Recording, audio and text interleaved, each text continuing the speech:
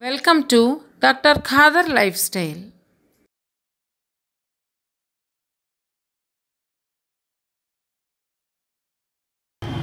So, sir, as millets are rich in fiber and also we are eating vegetables and fruits which are also contain fibers. So, does it ha- causes any harm? Yeah, it's a uh, very interesting question. Um, fiber in uh, millets and fiber in vegetables are two different things. They are fibers, all right, but the nature of fiber is very distinctly different. And uh, millets are the only grains, in fact, that harbor lignans. That means almost wood like. So the upper layers of millets, when the grain is um, resting for two to three months after harvest, it deposits on the top layers. These lignans are deposited. And lignans are actually the precursors of lignin. Wood is actually technically, scientifically is lignin. Uh, lignin means wood. Scientifically, wood is known as lignin. And to form lignin, you have precursors we call in biosynthetic processes. They are lignans. That means smaller units of wood are lignans. And then further down you get fibers. So these are the stepwise. So in vegetables, you don't have lignans. Lignans are formed in the wood when the wood is breaking. Whereas in the millets, that process, there is no wood in the millets also, but the precursors of wood is there. So lignans are very important uh, units that can take lot of dirt, lot of EMF because lignans have high PMF value, proton motive force it is called. Whereas in the vegetables and fruits, the fiber is fiber compared to lignans, it is not having that much PMF. So, the nature of fiber here in the millets as compared to the vegetables are different. And another important difference is vegetables, fruits, greens can never supply enough fiber for anyone for that matter. lot of people uh, nowadays are eating raw vegetables, raw fruits and this and that.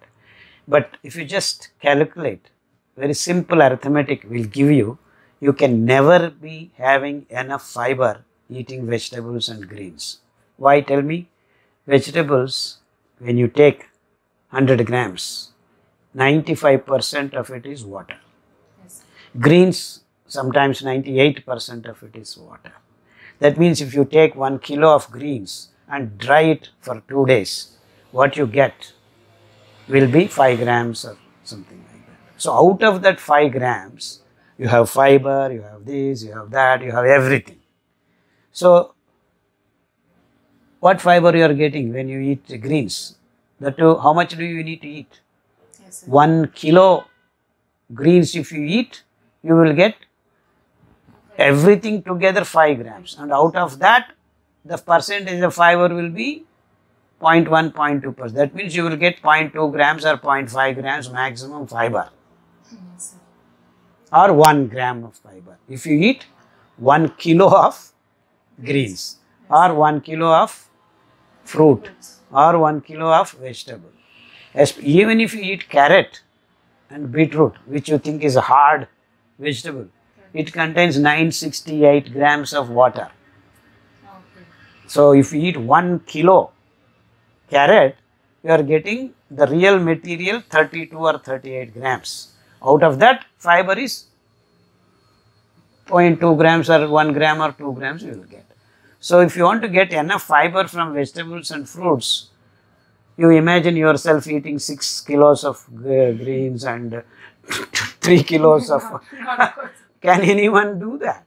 Not possible. Not at all possible. So, there is so much difference when you eat 100 grams of millets, you are actually getting, after soaking, almost 40 to 50 grams of wonderful fiber. So, please be clear that when you eat millets, you are getting the real right fiber and all others are of no consequence according to me. Absolutely no consequence. So, if you want fiber, there is nothing other than these five millets in the world for you. Absolutely. This is a scientific fact. And any other explanation is no valid. So you can eat greens, you can eat this, you can eat that for a different purpose. There are a lot of supplements. Like carrot has got beta carotene extra. So for that it's good for your eyes. You need to eat that. And I have always been telling you that we need to eat different kinds of things because carrot is carrot because there is something very different and specific with carrot. Beetroot is different, beetroot is beetroot because it has different kind of things. So only if you eat beetroot you get that. Mhm, Nothing else can supply that. So that is the reason why you want to eat different kinds of vegetables. It's not because it will supply you this, it will supply you that, it will supply you that. Because all that can be supplied by millets. And some more things can be supplied, which nothing can supply what millets can supply. So that is the beauty of millets. It has almost everything that any plant material has, plus something else. And on top of it, the right ratio of fiber to carbohydrate to keep you going day in and day out. The supply of glucose is slow and steady and balanced. So now you understand the reason and the scientific background on which millets stand apart. From everything else that we are eating. And all the so-called nutritionists keep blabbering that there is this value, this calories, this, all that do not matter. It is the nature of things, the material. As a whole, it matters. So, see, you can always get vitamin C from a tablet, from uh, lemon, from avocado, from guava fruit. All of them will supply. But each one is different. That's why I keep telling eat this. If you are in Mexico, you eat avocado. If you are in India, you Locally eat ah, locally. So don't say avocado, lot of vitamin C. So everyone in the world should eat vitamin C. Oh, we have all that bloody vitamin C in many other things. Even in our guava. In our guava, it is there. In Sitapal, it is there. Mango, it is there. Gooseberry, it is there. So nothing is big. Oh, kiwi fruit, it's excellent. Oh, ah, yeah, yeah, it's fine. Let New Zealanders or Australians let them eat. Uh, we have another wonderful fruit called chiku. Chiku, correct. So no problem. So it's the amounts are not many people are this nowadays nutritionists. Oh, this has this much protein, this has this calories, that all that humbug calculations. Don't worry about this. See, if you have uh, five calories less, what so what? I will eat little more. What is that?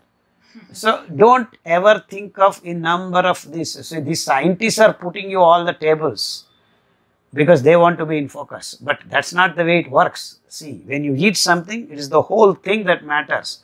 That's why I keep telling just take protein, your protein business. So, lentils. Whole lentils are better than the split lentils. Mm. And the sprouted lentils are better than the lentil whole lentils. So now all of them have proteins. But then what is absorbable and what is easily digested by us and all is actually this among the three split lentil, whole lentil, sprouted lentil. All three are okay, all are proteins. But the sprouted proteins are better for you.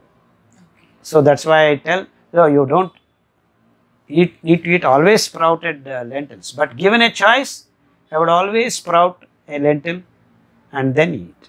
And you don't need too much. It's only our body, it will decide how much. So it's according to the estimation, it's 6 to 8 percent, not more than that. Yes. That means once a week, if you eat a fistful of sprouts, you are done for your protein requirement. So don't break your head. And this nutrition nutritionists, they are doing a big mistake, rather fooling people, saying that this is good, this is this. There is nothing like number one, number two, number three in nature. everything has its purpose. They are fully concentrating on proteins. Proteins or calories or this or omega acid, this acid, all that way of looking at is nonsense. It is not scientific at all. Yes. So be clear and come out of this mode of thinking. So, what can be absorbed best? What are the conditions in which we will be absorbing it better? So, just I'll give you an example. You walk two hours and come back and drink a tumbler of water after five minutes. How good it tastes. Sit in sit in your AC room, work for 18 hours and then drink water. How good it tastes. So now it's same water, same calories, same, same everything same. But why does it taste different? Why do you feel so good drinking the same cup of water when you are like this and when you are like that? It is different. So that is important. So are you primed for everything that you are eating? This is the most important aspect all these nutritionists, doctors, scientists are not talking about. So you understand? Yes. I'm happy you asked that question because it has brought out a different aspects of uh, different material. So it is the nature of the material and the state that you are in. Yes. All these things matter. I hope people have the clarity in this understanding. So you cannot go on eating 10 kilos of greens because it is fiber. so 100 grams of millets will do the job. That's the way you need to understand. Yes, sir. Thank you. sir. Thank you for watching. If you like the video, please like, share and don't forget to subscribe our channel Dr. Khadar Lifestyle. Press the below bell icon to get notifications.